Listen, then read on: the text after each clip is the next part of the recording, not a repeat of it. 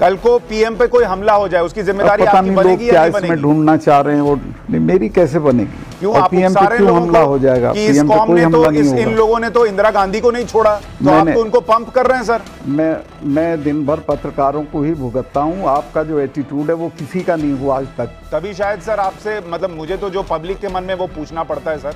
इसलिए मैं आपसे पूछ रहा था बहुत सारे लोगों को लगा गवर्नर्स का भी इस तरीके का व्यवहार नहीं रहता जैसा आपका रहा। ओहो आप ही आप ही मैं किसानों के साथ रहूँगा। तो गवर्नर हाउस से किसानों के साथ रहेंगे या गवर्नर हाउस छोड़ के किसानों के साथ रहेंगे? गवर्नर हाउस छोड़ने की क्या ज़रूरत है? गवर्नर हाउस तब छोड़ूँगा जब प्रधानमंत्री जी कहेंगे या राष्ट्रपति जी कहेंगे। अरे पर जो जो सरकार किसानों के साथ नहीं है उसका दिया हुआ पद आप जैसा स्वाभिमानी नेता कैसे रख सकता है? ले भाई गलती खैर, सत्यपाल मलिक से मेरा बस इतना ही निवेदन था कि जिस पद पर है, उसकी गरिमा समझिए। उस पद पर रहते हुए आप क्या कह रहे हैं, क्यों कह रहे हैं, अकबर आपको बिल्कुल इस किसान आंदोलन से जुड़ जाना है, पद छोड़ दीजिए, ना वो छूट रहा है। और इनको चाहिए कि भाई मुझे हटा दो, ताकि मैं वहाँ जाकर बोलूँ कि देखो मैं तुम्हारे साथ खड़ा था, इसलिए मुझे हटा दिया गया। सत्यपाल मलिक दरअसल बागपत के रहने वाले पश्चिमी यूपी के पुराने नेता हैं। वो किसानों के सबसे बड़े नेता रहे, चौधरी चरण सिंह के शिष्य रहे। लेकिन वो चौधरी चरण सिंह से लेकर वीपी सिंह, मुलायम सिंह और बीजेपी कई सियासी खेमों में रह चुके हैं। वक्त वक्त पर पार्टियाँ बदलते रहे। जैसे मैं अगर आपको इनका थोड़ा इतिहास बताऊँ, सत्यपाल मलिक साहब का इतिहास देखिए। सत्यपाल मलिक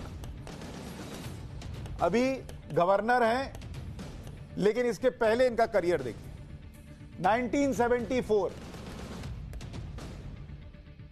चौधरी चरण सिंह के भार, भारतीय क्रांति दल से बागपत सीट से विधायक बने।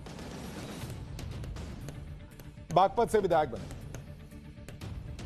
तब ये चौधरी चरण सिंह के साथ थे। इमरजेंसी में 1977 में जेल गए। 1977 जेल भी चले गए। 1980 से पिचासी तक लोकदल से राज्यसभा के सांसद रहे। 1980 टू 85 लोकदल में रहे। उसके बाद 1985 से नवासी तक 85 टू 89 फिर कांग्रेस में चले गए। मतलब लोकदल से छूटे तो कांग्रेस से राज्यसभा सांसद बन गए। कुर्सी इनको चाहिए, पार्टी बदलते रहो। इसीलिए देखिए वो राज्यपाल वाली कुर्सी भी नहीं छूट रही। बोफर्स के मुद्दे पर वो कांग्रेस से अलग होकर वीपी सिंह के साथ चले गए। फिर 1989 में अलीगढ़ से लोकसभा चुनाव लड़ा और जीतकर वीपी सिंह सरकार में मंत्री बने। 1989 में कहाँ चले गए? वीपी सिंह के साथ। वहाँ मंत्री बन गए। उसके बाद वो फिर उनको छोड़ा। इनको छोड़ा तो मुलायम सिंह के साथ चले गए। फिर 1996 में वो समाजवादी के टिकट, समाजवादी पार्टी के टिकट पर अलीगढ़ से लोकसभा चुनाव लड़े और हार गए। बाद में मुलायम सिंह की समाजवादी पार्टी छोड़कर बीजेपी में आ गए। मतलब सपा से निकले, एसपी से निकले, फिर बीजेपी आ गए। 2004 में वो बीजेपी के टिकट पर बागपत से लोकसभा चुनाव लड़े और चौधरी अजीत सिंह से हार गए। 2012 में उन्हें बीजेपी का राष्ट्रीय उपाध्यक्ष तक बना दिया। मोदी सरकार आने के बाद उन्हें 2017 में बिहार का राज्यपाल बनाया गया। फिर उन्हें जम्मू कश्मीर का राज्यपाल बनाया गया और जम्मू कश्मीर से जब हटे तो गोवा और फिर वहाँ से मेघालय के राज्यपाल बन गए। कुर्सी इनको लगातार मिली और कुर्सी इनसे छूटती नहीं, छोड़ नहीं रहे हैं। और बार बार मैं इसीलिए कह रहा था इंटरव्यू में कि कुर्सी छोड़ ना दीजिए। तो पहले बोले, कुर्सी जो है वो मुझे प्रधानमंत्री ने दी है, आपके बोलने पे क्यों छोड़ दूँ? और फिर उन्हीं प्रधानमंत्री के लिए कह रहे थे कि इंदिरा गांधी का क्या हाल हुआ था?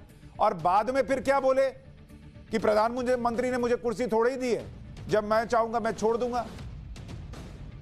तो अपने ही बातों में फंसते चले गए। लेकिन ये सत्यपाल मलिक, अगर वाकई किसानों के साथ होते तो कुर्सी के मोह में नहीं फंसे होते। अगर वाकई किसानों के साथ होते तो उनको समझाते कि इन तीनों कानूनों में कैसे उनका जो पिछला दर्द था, वो मिट सकता था। अगर वाकई किसानों के साथ होते तो इस देश में एमएसपी का कानून लाना कितना मुश्किल क्या नामुमकिन है, वो समझाते। अगर वाकई किसानों के साथ होते तो उनको बताते कि इसी देश में किसानों के लिए क्या क्या हो रहा है, जो बीते कई सालों में नहीं हुआ। लेकिन वो ये बताने लगे कि कैसे इंदिरा गांधी को भी नहीं छोड़ा था इन लोगों ने।